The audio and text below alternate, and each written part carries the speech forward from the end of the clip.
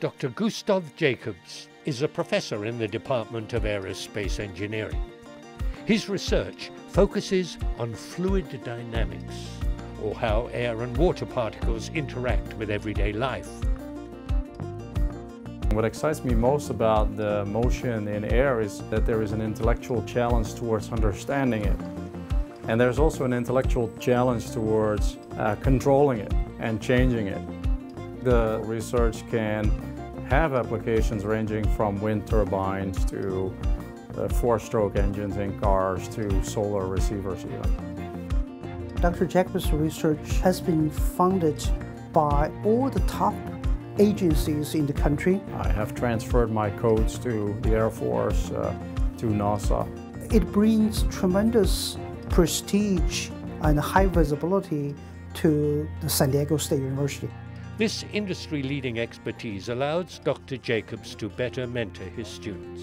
Personally, when I, when I get stressed or down on my research, just a few minutes of meeting with him, just I get motivated back to work again, and it's awesome. He has the magic. When I first started school, I was really into spacecraft, and that's what I wanted to do with my career. Once I started working under Dr. Jacobs and working with um, aircraft and active flow control, it's something that I'm now really passionate about. So my teaching style is to link whatever I teach uh, to examples in the real world. That is typically something that resonates with students. It's not that it makes them learn easier, but it makes them more interested.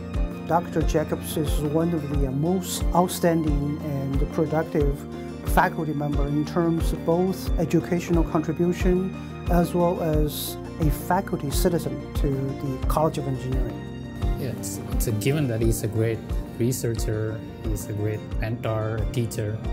Uh, more than everything, I think he's just a great human being. At the end of the day, I think uh, the combination of intellectual challenge with training of students is what makes me come out of bed.